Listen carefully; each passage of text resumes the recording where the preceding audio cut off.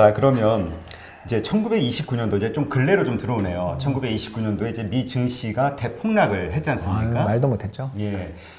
그 원인이 어디에 있었나요? 음, 뭐 운도 없었고 네. 또 정부가 잘못한 게 둘 다 다 같이 터져야 음. 97년 우리 외환위기도 그렇고 2000, 1929년 어, 미국의 대공황, 미국에서 시작된 세계 금융 경제 대공황도 그렇고 2008년 글로벌 대불황 이세 가지 사건의 공통점이 뭐냐면 첫 번째는 운이 없었어요. 일단 운이 없을 때 터집니다. 근데 이제 두 번째가 그런 일이 벌어졌을 때 정부가 조기에 그걸 잘 진압하면 되는데 진화시키면 되는데 어, 그걸 좀 잘못할 때 악순환이 이제 벌어지기 시작하면 이 걷잡을 수 없어지는 파국으로 가게 되는 경우를 보는데 1929년 대불황에 이제 불운이 두 가지를 겹쳤죠. 첫 번째 불운, 그 불운은 당연히 주식 가격이 급등해가지고 금리를 인상했으면 인상한 다음에 그 뒤에 이제 버블이 펑 터졌을 거 아니에요. 아, 주가가 뭐 얼마 전까지 100포인트 있던 게 300포인트가 됐는데 아, 누가 봐도 저 눈이 다 돌아가 있고 저 주식 투자하는데 옛날에는 또 지금보다 훨씬 규제가 약하니까 다 돈을 빌려서 예를 들어서 이제 제가 투기꾼이 은행 가가지고 아, 제 주식이 100만 불 있는데 600만 불 대출 돼요? 그러면 아, 금리 7%콜 이러면서 서로 돈을 빌려가는 거죠. 그래가지고 옛날보다 700만 불을 빌려가니까 800만 불. 와, 큰 돈이잖아요. 이 800만 불로 주식 투자를 하니까 1%가 나면 8%. 그렇지 않습니까? 그렇죠. 2%가 나면 16%가 되는 어마어마한 수익의 레버리지를 가져오는 대신에 주가가 한번 10% 폭락하는 순간 모든 돈은 왜냐하면 이자 비용도 있으니까 그렇죠. 한 방에 다 날아가 버리게 되는 거죠. 근데 이제 주가가 하루에 뭐 10% 이상씩 Black Friday 이럴 때마다 어, 폭락하니까 암흑의 피해 이제 금요일이라고 불리는 사건인데요. 그런 사건이 벌어지면서 주식에 빌린 돈을 못 갚게 되니까 은행이 이제 위험해지죠. 근데 이제 은행은 저한테 주식 담보대출만 해준 게 아니라 다른 수많은 고객들한테 부동산 담보대출도 하고 기업 대출도 해줬기 때문에 잠깐 지금 유동성이 부족한 것 뿐인데 소문이 난 거죠. 와, 저 은행 망했대. 그런 순간 사람들이 벌떼같이 줄을 섭니다. 내 돈 돌려줘. 2011년 우리 저축은행 사태 기억나시죠? 아, 잊을 수 없습니다. 아, 정말 그 뭐 끔찍했잖아요, 여러분. 그 여름 땡빛에 사람들이 줄 다. 자기 돈을 건지기 위해서 또 예금인 줄 알고 가입했더니 후순위 치였다 뭐 이런 이야기도 듣고 끔찍했던 일이 기억나시죠? 그런 것처럼 비슷한 일이 벌어진 겁니다. 자, 그럴 때 중앙은행이 어떤 일을 해야 되냐면 이제 제가 중앙은행 아까 계속 은행 역할을 음, 하셨으니까 그렇죠. 중앙은행장이라고 생각하시고 자, 임 대표님 은행이 이제 계시는 은행에 제가 전화를 하는 거죠. 어, 거기 별일 없어? 아, 이제 저 연준이죠. 어, 연준 의장님 죽을 것 같습니다. 지금 우리 뱅크런 났습니다. 뱅크런이 뭐야? 아, 지금 예금을 전부 다 돌려달라 그러는데 저희들 얼마든지 자산, 돈 빌려준 게 건전한 대출이 있어서 저희가 충분히 자산을 가지고 있지만 현금의 유동성은 지금 말랐습니다. 자, 이런 상황에서 고객들이 와가지고 돈 달라는 걸 갖다가 전부 다 저, 저희가 지급을 하기에는 도저히 지금 가지고 있는 현금 여력이 부족합니다. 이럴 때 긴급 자금 대출해 주십시오. 이렇게 하는 거거든요. 이게 중앙은행이에요. 그 중앙은행은 어 그래 그러면 네가 예를 들어서 저기 자동차 회사에 대해서 돈 빌려준 100만 불 있지? 예. 저거 담보 내 50만 불만 잡을게. 아니 저거 멀쩡한 자산인데요. 야 그래도 저 50만 불이면 이 위기를 넘길 수 있잖아. 오케이 그러면 꼭 빌려주면 되는 거잖아요. 그 대신에 어, 지금 금리가 6%지만 넌 잘못했으니까 10%. 이 증발석 금리를 이제 빌려주는 거죠. 이런 식으로 긴급 자금 어, 융통 이걸 이제 바로 뭐라고 이야기하냐면 최종 대부자 역할이라고 하는데요. 이걸 그때 안 했어요. 아 연준에서요. 예, 그러니까 이제 무슨 생각을 했냐면 이 버블을 좀 터트리는 게 경제에 도움이 되지 않겠냐. 지금 생각하면 아찔한데 사실은 이런 생각하시는 분이 꽤 있거든요. 자산 시장, 저 부동산 시장, 주식 시장 저것들 완전 버블인데 저 다 터져서 망해버려라. 어, 속은 시원하죠. 근데 이제 그게 망하면 아까 지금 이야기했던 은행도 어떻게 되는지 지금 봤잖아요. 그러니까 그거에 대한 인지를 제대로 못했죠. 이게 얼마나 큰 일이 벌어졌는지 일단 잘 몰랐던 거고. 이제 두 번째 문제는 더 문제는 금본위제였죠.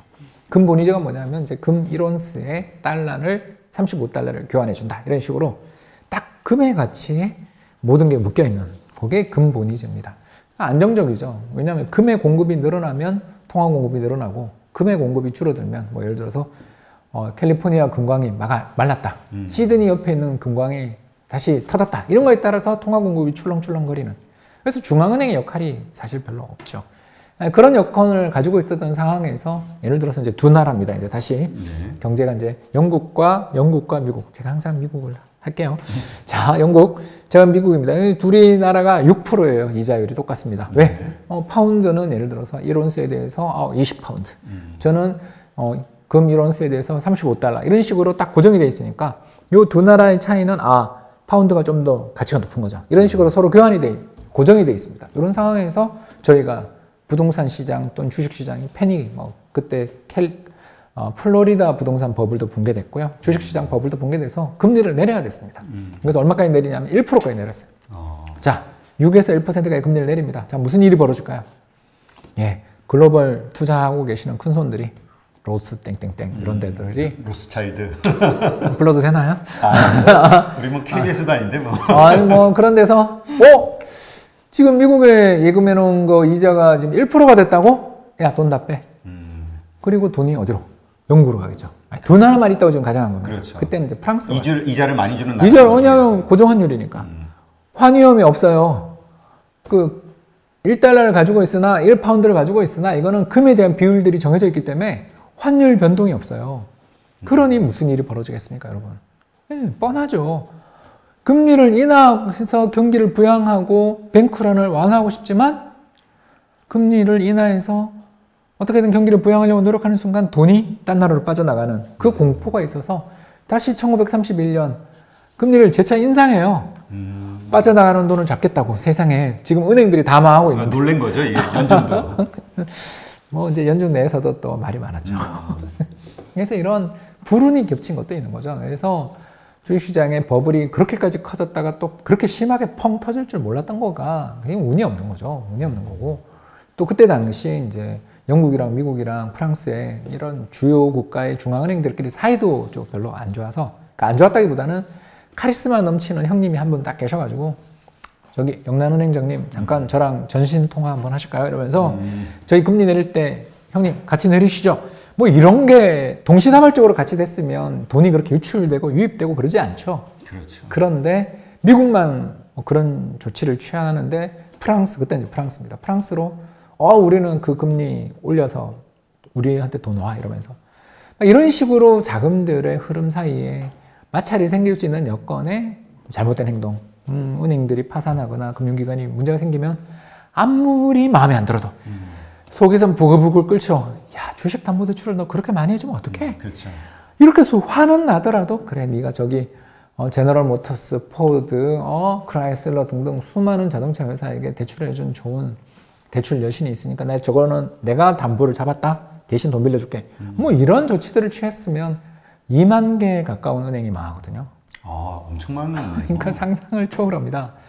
그러니까 이런 끔찍한 일들이 벌어지게 되니까 사람들이 어떤 생각을 하게 되겠어요? 은행 못 믿어. 그렇죠. 그렇죠. 뭐 은행- 주변에 막 은행은 다 많은데 은행이 왜 넣나요? 그럼 돈을 가지고 오는데 그때 근본이자라 그랬죠. 그러면 돈을 빼면 전부 다 금으로 음. 보관을 하려고 드니까 경제에 이제 무슨 일이 벌어지겠어요? 디플레이션이 돈이 안 돌아요.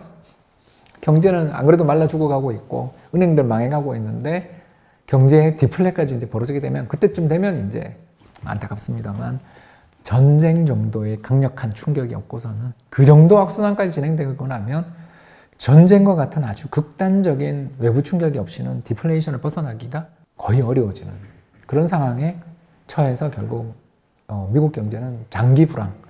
1939년 히틀러가 어, 폴란드를 침공하는 그 역사적인 비극적 사건이 벌어지기 전까지 무려 10년간에 걸쳐서 GDP가 한 20% 이상 감소한 상태로 아, 옆으로 기 10년간 오히려. 그러니까 이게 뭐 막장이죠. 근데 지금 잠깐 디플레이션 말씀을 하셨는데 우리가 디플레이션에 대한 우려를 많이 하거든요. 그렇죠. 실질적으로 디플레이션이 도대체 왜 그렇게 무서운 걸까? 음, 두 가지 때문입니다. 두 가지 주시죠. 때문입니다. 어, 두 가지인데요. 첫 번째가 제일 무섭죠. 이게 바로 뭐냐면 중앙은행이 아무 일을 못 해요. 생각해 보십시오. 이제 제가 또 중앙은행 네. 좋은 것만 다 하시네요. 임 대표님이 이제 시중은행이에요. 네. 제가 양쪽 하나 합니다. 저금, 저금리 뭐 해서 돈을 막 만들어서 이- 야, 써! 이러고 줍니다. 그러면 얼마 전에 무슨 일이 있었어요? 뱅크런 겪었죠. 네. 대출해줬다가 죄다 몰렸죠. 그렇죠. 아니 레버리지 대출 해주셨잖아요. 그렇죠. 어? 나 그거 저기 대출 안 해줄 건데 그러면서 정부 채권 사는 거예요 다시. 음. 아니면 중앙은행의 재예치 초과 지급 준비금이라고 들어보셨죠? 예, 예.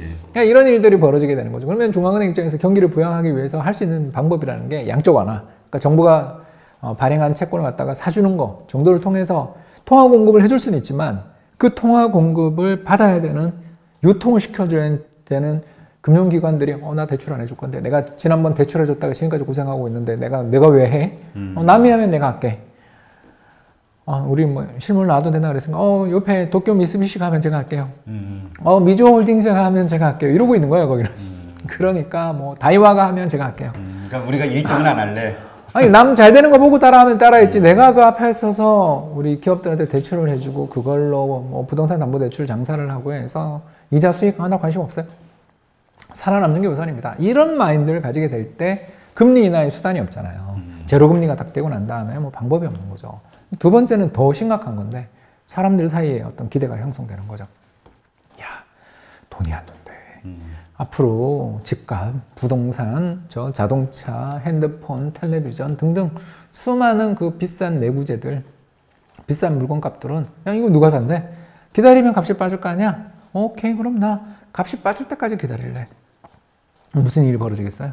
예, 나의 소비는 남의 매출이거든요. 음, 이 기업들이 망하기 시작하는 거죠. 그 일본이 대표적인 게 우리 한번 생각해 보시면 산요 혹시 기억나세요? 예, 예, 산요. 예, 어, 파이오니아 혹시 기억나세요? 아, 그, 그 전축, 옛날에 예. 전축이라고 그랬죠. 아이와 혹시 네. 기억나세요? 아이와도 조그만 그 예, 예, 카세트 예, 테이프 예, 카세트. 거. 예. 어, 히다치, 그 NEC, NEC, 뭐 어, 지금 후지츠, 그러니까 제가 지금 말씀드리는 기업들은 전부 다 이제 어떤 기업들을 제가 이야기하냐면 일본을 한때 호령하고 세계 자, 그 전자시장을 호령하던 일본의 수많은 기업들 중에서 곤란을 겪었거나 혹은 없어진 기업들을 제가 이름을 리스트를 댔습니다.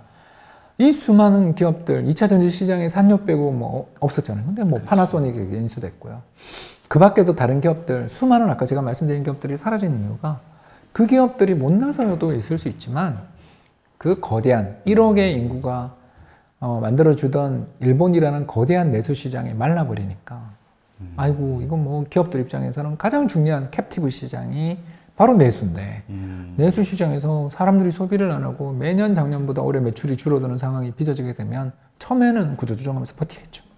그러나 그래도 어떤 돌파구, 해외에서의 돌파구가 나오지 않는다면 결국 망하거나 합병당하거나 아니면 뭐 다른 식으로 해외에 팔려 나가거나 해외에 팔려나간 경우가 대표적인 게 샤프, 아, 샤프. 예, 혼하이에게 팔려갔죠. 그런 것처럼 일본의 그 거대한 기업들이 특히 그, 어, 저기 뭡니까. 반도체를 주름 잡던 기업들 중에 지금 살아남아 있는 거는 사실 도시바밖에 없고 도시바조차 지분을 SK 하이닉스를 비롯한 한국 기업들한테 지금 팔고 있잖아요.